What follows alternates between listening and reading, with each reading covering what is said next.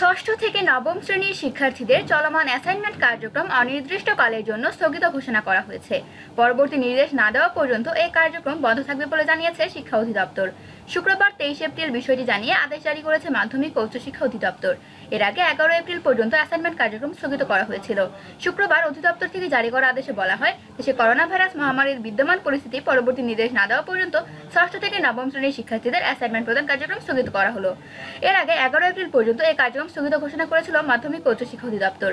যে করোনা ভাইরাসের ঊর্ধ্বমুখী সংক্রমণ রোধে আঠাশ এপ্রিল পর্যন্ত সারা দেশে লকডাউন ঘোষণা করা হয়েছে। এমন পরিস্থিতিতে মাধ্যমিকের শিক্ষার্থীদের অ্যাসাইনমেন্ট কার্যক্রম স্থগিত করল শিক্ষা অধিদপ্তর। এর আগে গত বিশ মার্চ থেকে দুই হাজার একুশ শিক্ষাবর্ষে ষষ্ঠ থেকে নবম শ্রেণির শিক্ষার্থীদের অ্যাসাইনমেন্ট কার্যক্রম শুরু হয়।